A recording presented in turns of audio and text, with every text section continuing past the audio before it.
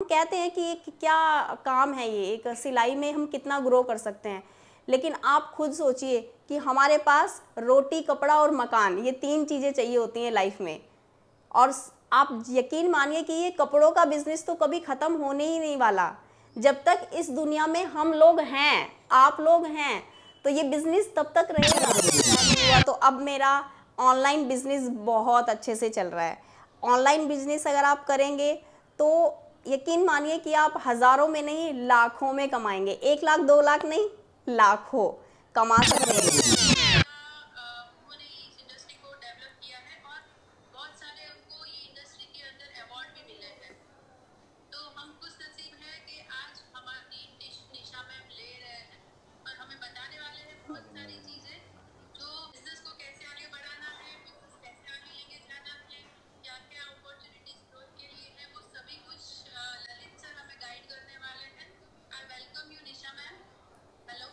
Thank you. Thank Thank you. you. Uh, we are thankful that you are giving us this opportunity. Uh, we are really uh, looking forward to work with you all and share our experiences with you. Uh, thanks for this opportunity. से ये request है कि programme के and तक बने रहिए सो much everyone कि आप सब लोगों ने और इस एनजीओ को सबसे बड़ा थैंक यू कि इन्होंने हमें मौका दिया है आप सब लोगों से जुड़ने का और आप सब लोगों की लाइफ को चेंज करने का। Thank you so much everyone और सबसे पहले मैं आपको अपने बारे में बताना चाहती हूँ। जैसे कि मैम ने बता ही दिया है कि मुझे पंद्रह सालों का एक्सपीरियंस है इस इंडस्ट्री में। और मैंने कैसे अपने इस बिज़नेस को स्टार्ट किया, मैं आपको ये सारी जर्नी शेयर करना चाहती हूँ कि मैंने बिल्कुल ज़ीरो से स्टार्ट किया है। सिर्फ़ एक मशीन से मैंने अपने बिज़नेस को स्टार्ट किया। और इसको यहाँ तक लाने में मुझे पंद्रह साल लगे हैं। एक मशीन को स्टार्ट करने के मतलब जैसे ही मैंने फ़र्स्ट मशीन से अपने कपड़े स्टिच करना स्टार्ट किया तो वो कपड़े वो आउटफिट्स जो मैं पहनती थी मेरे फैमिली वालों को बहुत पसंद आते थे। तो धीरे धीरे करके मेरी फैमिली वालों ने भी आ, अपने आउटफिट्स को स्टिच कराना स्टार्ट किया। उनका भी फिटिंग बहुत अच्छा आने लगा। फिर धीरे धीरे करके जैसे रिलेटिव्स को पता चलने लगा कि निशा स्टिच करती है तो फिर उन्होंने भी मुझे अपने ऑर्डर्स देना स्टार्ट किया। तो ऐसे करके मेरी जो जर्नी है, वो धीरे धीरे करके बुटीक के रूप में कन्वर्ट होने लगी। तो मुझे फिर आइडिया आया कि क्यों ना मैं एक बुटीक स्टार्ट करूँ। फिर मैंने एक मतलब घर पे ही स्टार्ट किया, छोटा सा बुटीक बनाया, एक थोड़ा स्पेस बनाया अपने घर में। ताकि वो लगे देखने में कि ये एक बुटीक जैसा ही है। एक मशीन मैंने रखा, छोटा सा काउंटर मैंने रखा एज अ स्पेस जैसा घर में स्पेस बनता है, बिल्कुल वैसे ही मैंने उसको स्टार्ट किया। उसके बाद जैसे मैं क्लाइंट के कपड़े स्टिच करती थी तो उनको बड़े पसंद आते थे। तो फिर ऐसे ही मेरे जो क्लाइंट थे, वो दूर दूर से आने लगे। फिर मुझे थोड़ा लगने लगा कि मुझे बुटीक ओपन कर लेना चाहिए तो मैंने एक छोटा सा बुटीक रेंट पे लिया। और उस बुटीक को जैसे रेंट पे लिया ना तो मतलब एक अमेजिंग जैसा हो गया कि जितने भी कपड़े मैं स्टिच करती थी, सबको बहुत अच्छे लगते थे। फिर एक एक क्लाइंट से मुझे दस क्लाइंट मिलना स्टार्ट हुआ। फिर वो क्लाइंट दूर दूर और बताने लग गए। फिर ऐसे ही मेरी जर्नी धीरे धीरे करके स्टार्ट हुई। तो मैं बताना चाहती हूँ कि आप भी इसी तरीके से अपनी जर्नी को स्टार्ट कर सकते हैं, बिल्कुल ज़ीरो से। तो ये मैंने सबसे पहले ऑफलाइन से ही स्टार्ट किया था। जैसे बुटीक अच्छा बनने लग गया, बुटीक ग्रो करने लग गया, फिर ऐसे ही मुझे ऑफ़र्स मिलना स्टार्ट हुआ कि मैम आप हमें स्टिचिंग सिखाइए अपने जैसा, हमें आपके जैसा बनना है। तो मैंने फिर एक मशीन से दो मशीनें किया, दो से तीन, क्योंकि जब स्टूडेंट्स आते थे तो उनको नीड होता था कि उनको भी मशीन पे काम करना है। फिर धीरे धीरे करके मैंने इस, ऐसे ही अपने बिज़नेस को ग्रो किया। ऑफलाइन के भी मेरे पास काफ़ी दूर दूर से स्टूडेंट्स आने लग गए ट्रेनिंग देने लग गई। उन्होंने भी अपने बुटीक ओपन किए। मेरे बहुत सारे बुटीक के पास में भी और दूर दूर भी मेरे काफ़ी स्टूडेंट्स हैं जिन्होंने बुटीक को ओपन किया है। और अपनी जर्नी बिल्कुल मेरी तरह स्टार्ट की। बिल्कुल ज़ीरो से स्टार्ट किया और आज उनका बुटीक बहुत अच्छे से रन कर रहा है। तो आपने मुझे इतनी अच्छी अपॉर्चुनिटी दी है। तो मैं भी चाहती हूँ कि आप भी इसी तरीके से अपने बिज़नेस को बिल्कुल ज़ीरो से स्टार्ट कर कर सकते हैं।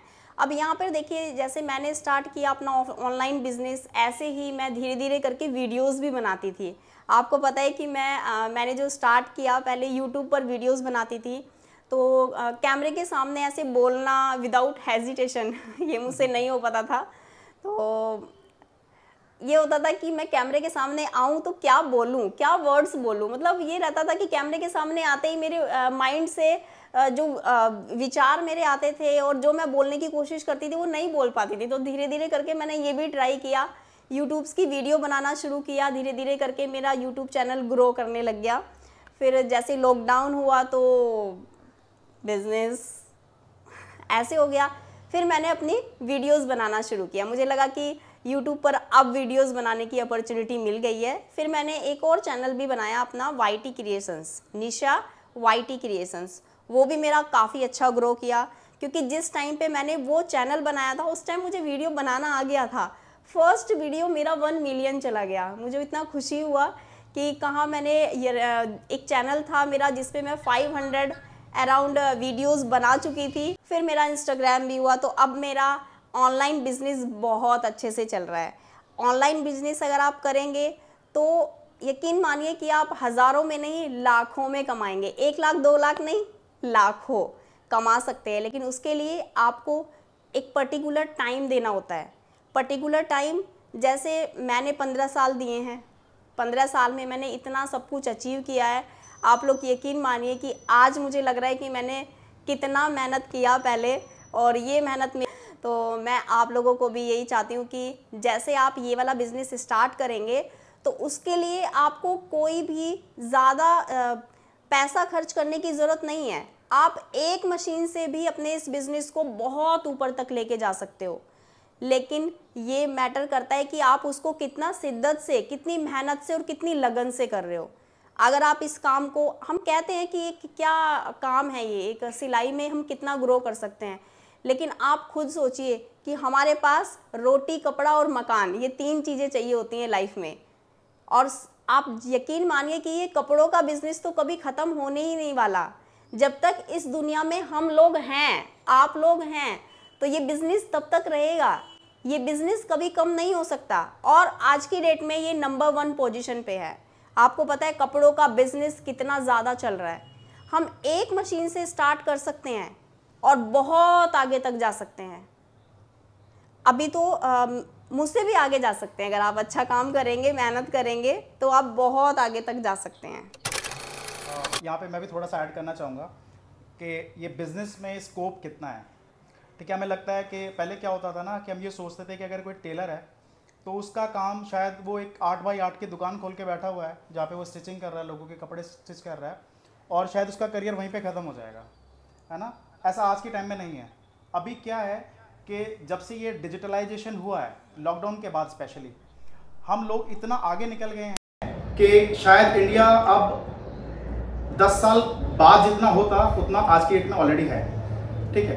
तो टेक्नोलॉजी का सहारा लेकर हम लोग बहुत आगे जा सकते हैं, जैसा हम लोग ग्रो कर रहे हैं। हमने कभी सोचा भी नहीं था कि हम पैन इंडिया किसी को हेल्प कर पाएँगे। इनफैक्ट इंडिया नहीं अब इंडिया से बाहर भी। हमारे क्लाइंट्स यूएस में है कनाडा में है यूके में है नियरेस्ट कंट्री में जाते हैं हमारे दुबई से कॉल्स आते हैं कि सर हमें भी सीखना है मैम हमें भी सीखना है।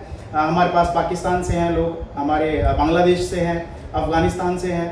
तो केनिया से लोग आते हैं। स्पेन से कल कॉल आया कि सर हमें भी सीखना है। तो आज ऑनलाइन प्लेटफॉर्म के होने की वजह से पूरी दुनिया में हम लोग अपना सर्विसेज़ दे पा रहे हैं। तो अगर आप इस लाइन में आना चाह रहे हैं इंटरेस्टेड हैं, सीखना चाहते हैं तो आप स्टार्ट करें, ठीक है? एक बेसिक कोर्स से स्टार्ट करें और स्टार्ट करके स्टार्टिंग के तीन महीने के अंदर ही आपको ये जज हो जाएगा कि क्या ये बिज़नेस क्या ये इंडस्ट्री आपके लिए सुटेबल है या नहीं है। आपको इस लाइन में आना भी चाहिए या नहीं आना चाहिए। तो इंटरेस्ट का पता चल जाता है। सबसे बड़ा बेनिफिट हो जाता है कि एटलीस्ट आप अपने लिए कपड़े स्टिच कर पाते हैं, अपनी फैमिली के लिए, अपने बच्चों के लिए कपड़े स्टिच कर पाते हैं। हमारे यहाँ हिंदुस्तान में इतने सारे फ़ंक्शंस होते हैं, इतना वास्ट कल्चर है हमारा कि हर महीने शायद तीन या चार फेस्टिवल्स हमारे यहाँ होते ही होते हैं। और हर फेस्टिवल पे हमें कपड़ों की ज़रूरत पड़ती है। तो कपड़ों के लिए तो और खर्चा कितना होता है अगर हम स्टिच करा रहे हैं तो? तो अगर आप क्लाइंट के लिए नहीं भी बना रहे हैं, सिर्फ़ अपने लिए सीख रहे हैं, अपनी फैमिली के लिए सीख रहे हैं तो भी आप हर साल शायद बीस तीस हज़ार रुपए का स्टिचिंग का खर्चा बचा लेंगे। और अगर आप अच्छे से इसको करना चाह रहे हैं, आगे कर भी रहे हैं, आपका इंटरेस्ट भी बन गया है, इसको आप नेक्स्ट लेवल पे लेके जाना चाहते हैं तो सबसे पहले आप क्या कर सकते हैं, छोटी सी कहीं पे जॉब भी कर सकते हैं। ठीक है? हर जगह गारमेंट सेक्टर है, हर जगह स्टिचिंग होती है, कपड़ों की बहुत बड़ी बड़ी इंडस्ट्री है हर जगह जॉब मिल जाती है कोई प्रॉब्लम नहीं होता। आप बिल्कुल रूरल एरिया में भी हैं वहाँ पर भी मैन्युफैक्चरिंग होती है। और आपके आसपास का जो भी टाउन होगा जहाँ छोटा शहर होता है छोटे शहर वहाँ पर भी आपको आ, मिल जाती है ऑप्शंस तो जॉब में जा सकते हैं। आपको जॉब नहीं करनी आप अपना खुद का घर से बुटीक रन कर सकते हैं। अच्छा हो जाए जैसे मैम ने बताया कि पहले हमने भी घर से स्टार्ट किया था है ना? घर से बाद फिर आप क्या कर सकते हैं आप अपना एक स्टोर खोल सकते हैं। ठीक है? आप वहाँ पे स्टिचिंग कर सकते हैं रेडीमेड गारमेंट्स बनाकर सेल कर सकते हैं, उनको रेंट पे दे सकते हैं। आजकल रेंट का बिज़नेस भी बहुत चलता है। क्योंकि, देखिए, आप एक, हमारे पास क्या होता है, हम रेंट भी करते हैं अपने ड्रेसेस को। तो जो लोग ब्राइडल में जा रहे हैं या फिर जिनको एज एन कोई पार्टी घर में कोई फ़ंक्शन है, वो अटेंड करना है तो कोई, हर कोई इतना कंफर्टेबल नहीं होता कि वो बीस हज़ार, तीस हज़ार रुपए की ड्रेस को उस पर्टिकुलर ओकेजन के लिए बाय करें। क्योंकि फीमेल्स जनरली क्या करते हैं, वो अपने ड्रेसेस को ज़्यादा रिपीट करना पसंद नहीं करते। है ना? तो वो क्या करते हैं? वो कहते हैं कि ठीक है, हमने ये ड्रेस रेंट पे ले लेते हैं हम। तो आपके पास ये ऑप्शन बन जाती है। अगर आप अपनी अच्छी अच्छी ड्रेसेस बना के आपके पास एक कलेक्शन हो जाता है तो आप उनको रेंट आउट कर सकते हैं। अगर एक दस हज़ार की ड्रेस है तो तीन हज़ार रुपये का रेंट आपको बड़ा इजीली मिल जाएगा। और उसके लिए आपको करना क्या है? कुछ नहीं। ड्राई क्लीन करके रखना है, अच्छे से प्रेजेंट करना है। जब वो आ जाए आपके पास ड्राई क्लीन करा के वापस रख देना है। है ना? अगर आप ये भी कर लेते हैं, फिर आप सिखाना भी शुरू कर सकते हैं। और सिखाने का लिमिट नहीं है कुछ भी। आज के टाइम में आप दूर दूर से, आप विश्वास मानिए, हमारे पास हम दिल्ली में हैं, वेस्ट दिल्ली में। नियरेस्ट स्टेशन में आपको बताऊँ तो हमारे ये द्वारका एरिया पड़ता है। हमारे पास फरीदाबाद से, जो करीब करीब 30 किलोमीटर 25 से 30 किलोमीटर है, गाजियाबाद से, जो एक साइड का दो घंटे लगते हैं ट्रैवल करने का, रोहिणी से, तिलक नगर से, उत्तम नगर वाली साइड से मतलब काफ़ी दूर दूर से लोग दो दो घंटे ढाई ढाई घंटे ट्रैवल करके वन साइड ऑफलाइन सीखने आ रहे हैं। तो अगर आपकी क्वालिटी अच्छी है, अगर आप कंटेंट अच्छा दे रहे हैं अच्छा सिखा पा रहे हैं तो आपके पास स्काई इज़ द लिमिट बोलते हैं ना, कि आप आसमान छू सकते हो तो वो वाली ऑप्शन मिलती है। अगर आप सिखाने में आते हो, जैसे अभी ऑनलाइन आप हिंदुस्तान के हर एक कोने से शायद अभी हमारे पास लोग जुड़े हुए होंगे, कहाँ कहाँ से हमें देख रहे हैं, और हम कहीं पे बैठे हुए हैं और आप पूरी हिंदुस्तान में फैले हुए हैं, लेकिन हम फिर भी एक दूसरे से कनेक्ट कर पा रहे हैं तो ऑनलाइन में ये सारी पॉसिबिलिटीज खुल जाती हैं। ठीक है? हमारे पास टाइम जोन डिफरेंट होने की वजह से भी लोग हमारे साथ जुड़े हुए हैं कि कोई बात नहीं हम सुबह जल्दी उठ के कनाडा में आ, इस टाइम शायद बहुत अर्ली मॉर्निंग या नाइट लेट नाइट हो रहा होगा तो क्या होता है कि उसके अंदर आ, लोग वो चाहते हैं कि आप अगर अपना बैच स्टार्ट कर रहे हैं तो हम सुबह सुबह सिक्स ओ उठ के भी देख लेंगे। हमारे क्लाइंट्स हैं एक हमारी मनप्रीत लोटे जी हैं वो मैम गुरमीत लोटे जी सॉरी तो गुरमीत लोटे जी हैं कनाडा से हैं तो वो कहती हैं कि मुझे आपका काम इतना पसंद आता है कि मैं सुबह six o'clock five o'clock उठ के आपकी क्लास अटेंड करती हूँ ठीक है? तो कहने का मतलब नक्शल में ये है कि ये बिज़नेस बहुत छोटे लेवल से स्टार्ट करके बहुत बड़े लेवल तक जा सकता है। लेकिन हाँ टाइम देना पड़ता है मेहनत करनी पड़ती है लगातार करनी पड़ती है उसका कोई शॉर्टकट नहीं है ठीक है? कोई भी आ, पहले दिन में स्टार नहीं बन सकता पहले दिन में सब कुछ अचीव नहीं कर सकता टाइम देना ही पड़ता है, हमें पंद्रह साल लगे हैं। वो तो थैंक्स है कि ये जो एक तरह से जो लॉकडाउन लगा और ये हमारा पूरा, पूरी दुनिया जो बंद हुई, इस पेंडेमिक में बहुत लॉसेस हुए, लेकिन हम लोग इंडिया पूरी दुनिया डिजिटल वर्ल्ड में बहुत आगे ग्रो करी है, जिससे हमारे सभी के बिजनेसेस बहुत अच्छे लेवल पे जा रहे हैं और बहुत ग्रोथ कर रहे हैं। ठीक है? आज से पहले शायद हमने कभी सोचा भी नहीं होगा कि हमारे स्कूल बच्चे जो हैं, जो स्कूल जाते थे रेगुलर टीचर पढ़ाते थे उन्हें, वो दो साल घर पर ही टाइम स्पेंड कर देंगे और वो सीख भी लेंगे। हमने कभी सोचा भी नहीं था। ऑनलाइन ट्रांजेक्शन अगर हम एक रिक्शा वाला भी है, कोई एक ठेले वाला है जो फ्रूट्स बेच रहा है वेजिटेबल्स बेच रहा है, वो भी क्यूआर कोड लगा के बैठा हुआ है कि आप यहाँ पे पेमेंट कर सकते हैं। अदरवाइज़ हम लोग बड़ा हेजिटेट थे कि हम ये करना चाहिए या नहीं। हम लोगों को हार्ड कैश समझ में आता था। हम लोग डिजिटल नहीं करते थे चीज़ें। लेकिन अभी हम लोग टेक्नोलॉजी में सब लोग बहुत आगे चले गए हैं। तो हम लोग जब अपना ये प्लेटफॉर्म ऑनलाइन लेकर आए तो उसका भी रीज़न यही था कि हम बड़े स्केल पर आ पाए और अपनी सर्विसेज़ सबको सिखा पाए, जो नीडी लोग हैं। हमने प्राइसेस इतने रीजनेबल रखे हैं कि सब लोग उसको अफोर्ड कर पाए।